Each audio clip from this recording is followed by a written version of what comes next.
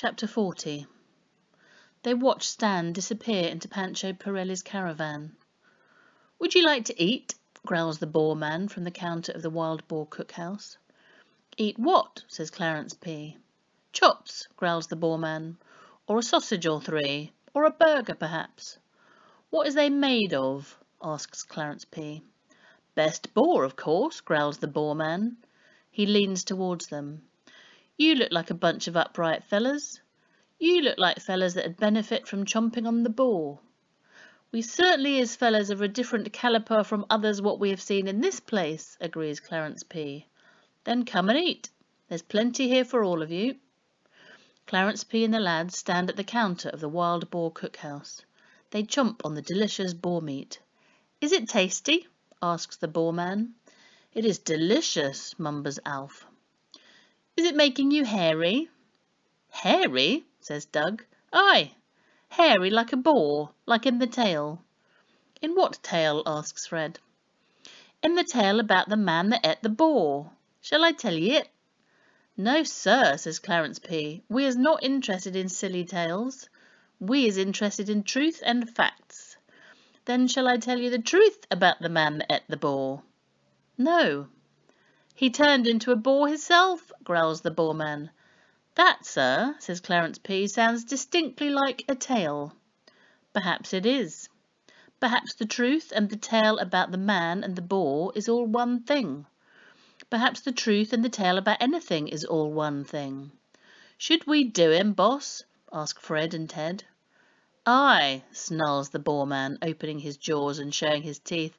Aye, do it now. But before you do, did you hear the tale about the man that had no tails? No, sir.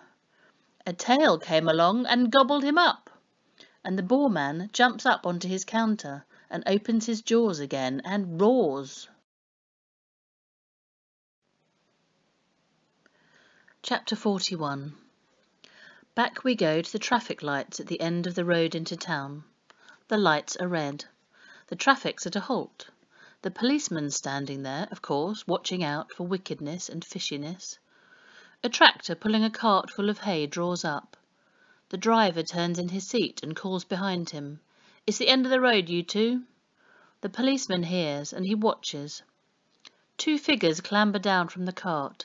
They're stumbling, stick-like figures, like scarecrows. Thank you, sir, they call to the driver. Thank you, kind sir. Think nout of it. Glad to be of service, answers the driver. The lights turn green. The traffic moves on. The policeman grins. What have we here? he thinks, as he proceeds towards the scarecrow pair, with his hands behind his back. The ugly grin turns to a tender smile upon his face. Good evening, he says, ever so polite. Good evening, sir, say Annie and Ernie, for of course it is they. Welcome to our modest town, says the policeman, and what might you be after in this place? Oh, sir, says Ernie, we are searching for a lost boy. A poor ickle lost boy, replies the policeman. Yes, sir, says Annie, he is a good boy, sir. He is this tall, and he has a bonny face, and there is goodness glowing from his eyes. I don't suppose you have... Goodness, says the policeman. I see many boys in the course of my work, but not too many who have goodness glowing from them. Then you would know him easily, sir, says Ernie. The policeman ponders. He strokes his cheek, scratches his head. No, he murmurs, I recall a high degree of wickedness, but how is it, if I may ask, that you came to lose him? Ernie looks down at the pavement. Oh, sir, he says, I have only myself to blame. I did not treat him right. He ran away. He ran away, and yet you tell me that he is a good boy. Can a runaway ever be a good boy? Oh, yes, sir, cries Annie. And what is more, can those who do not treat their children right be good themselves? No, sir, whispers Ernie. But I have seen the errors of my ways, and I have changed. Too late, snaps the policeman. Your wickedness has been unleashed upon the world. We have an evil runaway in our midst. Now you follow him and think the world will be all lovey-dovey to you. It will not. I should take you away this very minute and slap you in my darkest cell. Oh, please, no, sir, begs Annie. What did you expect? asks the policeman. Did you think I would escort you to the nearest five-star hotel? Did you expect to be offered jacuzzi baths and handmade chocolates and four-poster beds? Oh, no, sir, says Annie. We do not want luxuries. Luxuries! I'll give you luxuries. The policeman points across the road to the narrow lane opposite. Get out of my sight, he snarls, before I slap the cuffs on you. Follow that lane. You'll be at home down there with the rest of the raggle-taggle lot. You'll find plenty of holes to hide in and ditches to kip in. Go a bit further and you'll even find a river to fling yourselves in. His eyes glitter in the sinking light. If I so much as catch a glimpse of you two again. Annie and Ernie scuttle across the road. They dodge the traffic. They enter the potholed lane. The policeman sniggers as he watches them go. Oh, how he loves his work. A nasty man, says Ernie. Maybe he's just had a difficult day, says Annie. She takes Ernie's arm and they stumble together through the darkness down the lane. You're right, dear, says Ernie. Maybe he's just had a very difficult day. Chapter 42 One by one and million by million the stars start to shine. The pale moon brightens. All across the fairground field the lights begin to flicker, flash and glow. The people scream and laugh in the cooling air. The music thuds and wails and shrieks. Many make their way in hushed excitement to a place that seems more still than any other, a place where a simple wheeled trailer stands with a tarpaulin draped across its front, bearing the simple words, Stanley Potts. A floodlight shines upon the scene, and a spotlight makes a circle of brightness upon the blue tarpaulin, a circle that awaits the performer. The crowd gathers and grows. People eat popcorn and crisps and candy floss. They eat sugary rock in the shape of little walking sticks and moulded into plates of English breakfast. They chew on chops and boar burgers. They swig beer and lemonade and bottles of black pop. Where is he? is the whisper. Where is Stanley Potts? Have you seen him yet? Nobody has, for Stanley is in Pancho Pirelli's caravan. He's looking at photographs of Pancho as a boy. He's looking at the great changes that came upon that boy and turned Pancho into the man he is today. He's looking further back in time to the great Pedro Perdito. This is his ancestry. This is the line of history that leads to him, to Stanley Potts. And Stanley shakes a little and trembles. Nervous, Stan? says Pancho. Yes, admits the boy. Scared they'll eat you up? Scared it's the day of doom? Stan ponders, then shakes his head.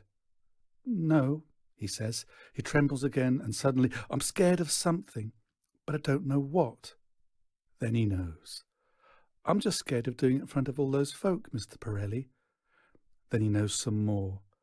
And I'm scared of changing. I'm scared of becoming a different Stanley Potts. Pancho smiles.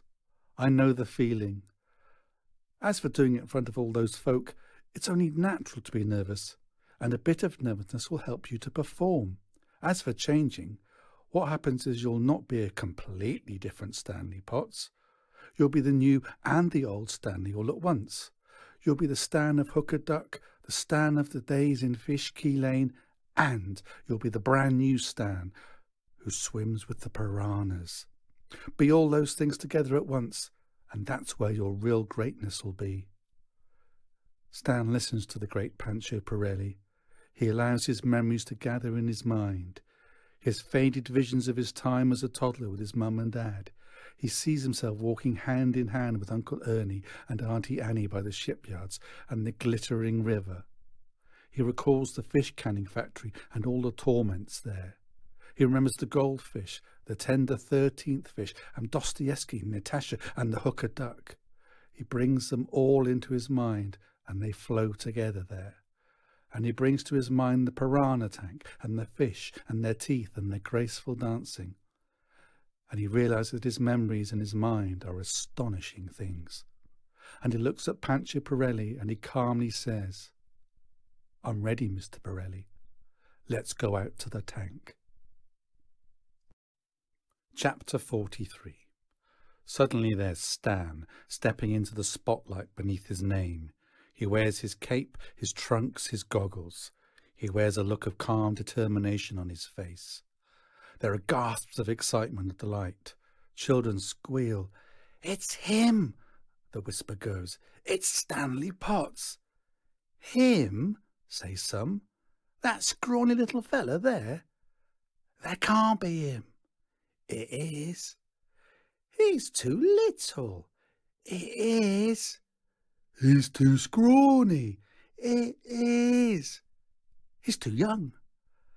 That can't be the Stanley Potts. Pancho Pirelli steps into the spotlight at Stanley's side. The voices hush. This, says Pancho, is Stanley Potts.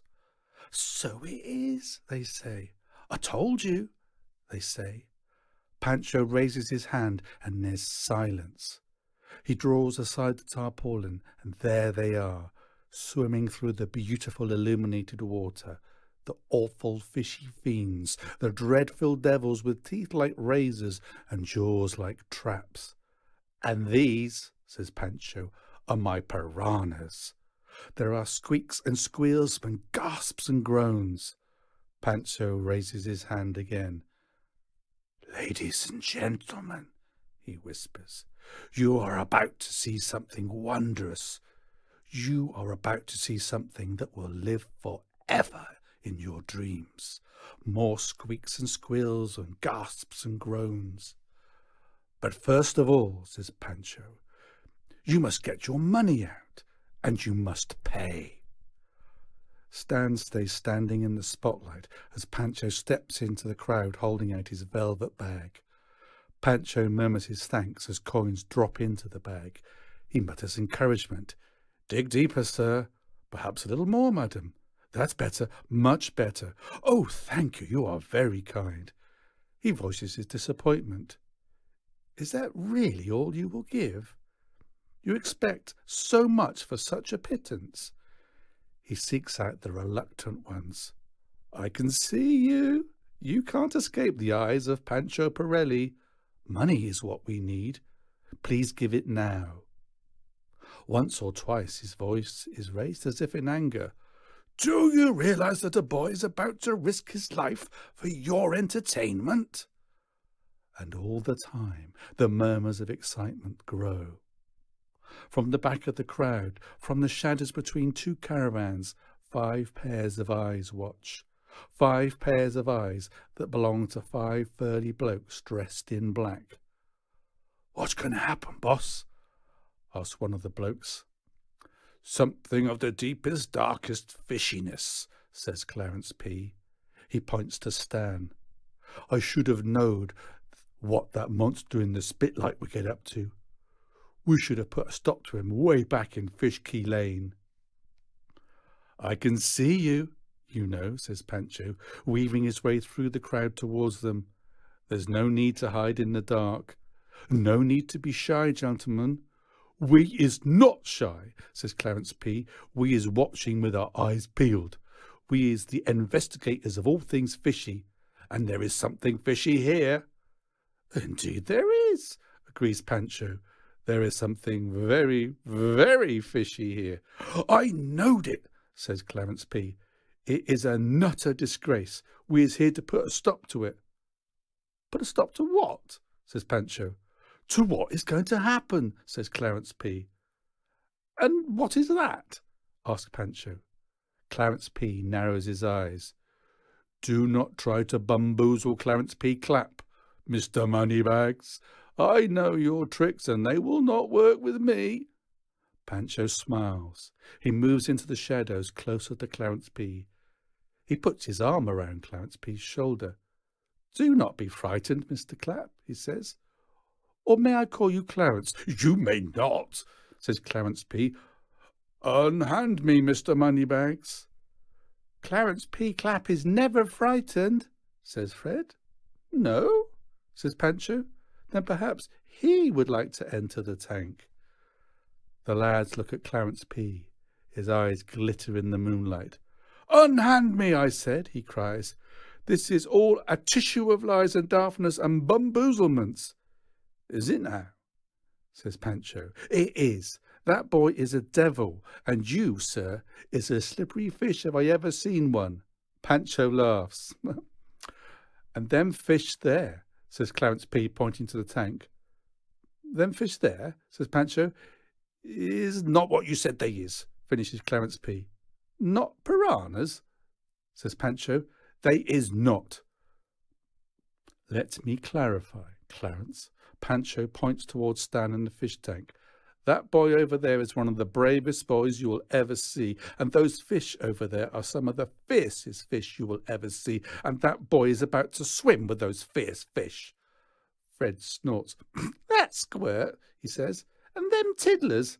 Yes, says Pancho. I can have that squirt for me dinner, and put them tiddlers for me pudding, scoffs Ted. And drink the water for me soup, asks Doug. Perhaps you should try it, Pancho tells them. Come with me to the tank. Stick a finger in. Aha, says Clarence P. Do not listen, lads. Mr. Moneybags is trying to tempt you and lead you into fishy waters. It is all tricks and fakery. There is no rhyme nor reason to it, and we has no wish to take part in such a spectacle, sir. Unhand me and be off. We'll be watching. One sign of fishiness and we will down on it like a ton of bricks. The lads laugh and begin to gather around Pancho. Tiny tiddlers, they grunt. They're about to grab him, but he's gone, weaving his way once more through the crowd. Be strong, lads, says Clarence P. We's one of the world's dark, dark places. We's in the middle of the land of wreck and ruin. Watch and listen and learn. The lads peer at Pancho, at Stan, at the crowd, at the fish swimming sweetly in the illuminated tank. One day, lads, declares Clarence P., all daftness will be drove out from the world. There'll be no daft places like this, no daft people like these around us, no daft fishy tanks, and no daft fishy goings on. Well, that'll be good, boss, says Alf. It will, agrees Clarence P. So there'll just be people like us, says Doug. Aye, says Fred. People what knows what's what. Correct, says Ted. Undaft people who knows what's what in a world what's got no daftness in it. Well said, Ted, said Clarence P. I couldn't have put it better myself.